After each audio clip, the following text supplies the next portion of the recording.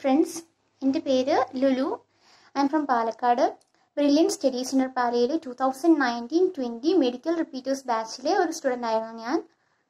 ഞാൻ plus two complete ചെയ്തത് Nenmara government higher secondary സ്കൂളിൽ നിന്നായിരുന്നു.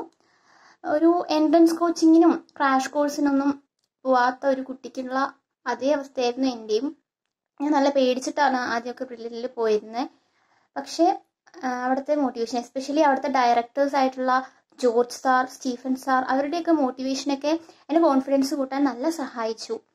പിന്നെ അവിടുത്തെ കോച്ചിങ് ആണെങ്കിലും അവിടുത്തെ നല്ല ഫാക്കൽറ്റീസ് ആണ് ഡൗട്ടൊക്കെ നന്നായി ക്ലിയർ ചെയ്ത് തരും. പിന്നെ നല്ല ലൈബ്രറി ഉണ്ട്. അതുകൊണ്ട് നമുക്ക് നല്ല ക്വസ്റ്റ്യൻസ് ഒക്കെ ചെയ്യാൻ നല്ല ബുക്സ് ഒക്കെ അവൈലബിൾ ആണ്.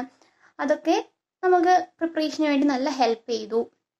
അതേപോലെ തന്നെ ഹോസ്റ്റലാണെങ്കിലും ഹോസ്റ്റലിൽ റൂംമേറ്റ്സ് ഒക്കെ നല്ല കോപ്പറേറ്റീവ് ആയിരുന്നു കേട്ടോ അപ്പോൾ വാർഡൻ ആണെങ്കിലും കെയറിങ് ആണ് നല്ല കാര്യങ്ങളൊക്കെ അന്വേഷിക്കുകയായിരുന്നു. അതുകൊണ്ട് അതും നമ്മൾ നല്ല ഒരു അറ്റ്മോസ്ഫിയറിൽ ഇങ്ങനെ കീപ്പ് ചെയ്ത് കൊണ്ടുപോയി. പിന്നെ നമ്മൾ പക്ഷേ കൊറോണ വന്നപ്പോഴാണ് ഒരു പേടി ഉണ്ടായിരുന്നത് വീട്ടിലേക്ക് വന്നല്ലോ. അപ്പം ഇനി ഉഴപ്പോ അങ്ങനത്തെ പേടിയൊക്കെ ഉണ്ടായിരുന്നു. പക്ഷെ അപ്പോഴും ഇവർ മൂന്ന് ഡേയ്സ് ഒക്കെ കൂടുമ്പോഴും ഓൺലൈനായിട്ട് എക്സാം ബ്രില്യന്റ് എക്സാം നടന്നിട്ടുണ്ടായിരുന്നു. പിന്നെ അതിൽ ടഫ് ക്വസ്റ്റ്യന്റെ ഡിസ്കഷൻ ഉണ്ടായിരുന്നു. അപ്പോൾ അതൊക്കെ നമുക്ക് പഠിക്കാൻ നല്ല ഹെൽപ്പ് ചെയ്തു. പിന്നെ ഇത്ര പേടി ഉണ്ടായിരുന്ന ഇനി ഡൗട്ട് ക്ലിയറൻസ് ഒക്കെ എങ്ങനെ നടക്കും വീട്ടിലല്ലേ? പക്ഷേ നമുക്ക് അതിന്റെ മീൻസ് നമ്മുടെ അവിടെ ഫാക്കൽറ്റീസിന്റെ നമ്പറൊക്കെ അവർ സെൻഡ് ചെയ്ത് തന്നിട്ടുണ്ട്. നമുക്ക് ഡൗട്ട്സ് ഒക്കെ അവരോട് അയച്ചു ചോദിക്കായിരുന്നു. അതിന്റെ സൊല്യൂഷനും നമുക്ക് കിട്ടുമായിരുന്നു. അപ്പം അത് ഡൗട്ട് ക്ലിയറൻസിന് സഹായിച്ചു. അങ്ങനെ നമുക്ക് ഒരു സ്റ്റഡീസിലൊന്നും ബ്രേക്ക് വരാണ്ട് കൊണ്ടുപോകാൻ സാധിച്ചു.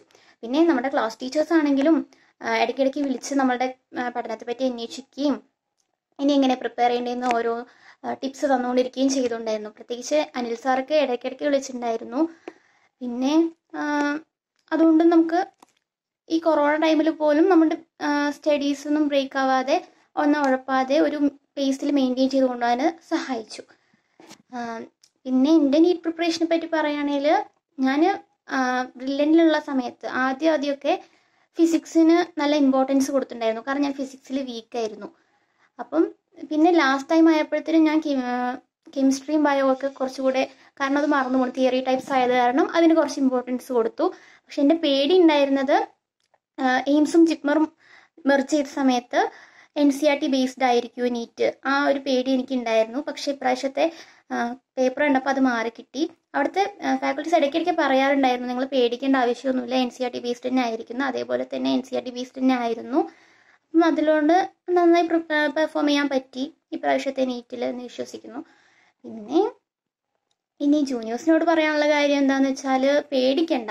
Stress free ആയിരുന്ന് six to seven hours compulsory ആയിട്ട് ഉറങ്ങിയിട്ട് തന്നെ പഠിക്കുക. അപ്പോൾ നമുക്ക് നല്ല പഠിച്ചതൊക്കെ ഓർമ്മ നിൽക്കുകയുള്ളൂ അങ്ങനെ നമുക്ക് സ്ട്രെസ് ഫ്രീ ആയിട്ട് നീറ്റിന് പ്രിപ്പയർ ചെയ്യാൻ സാധിക്കും. അപ്പം നല്ലോണം ഹാർഡ് വർക്ക് ചെയ്യുക. അതിലേ വഴിയുള്ളൂ. ഓക്കെ അപ്പോൾ thank you and all the best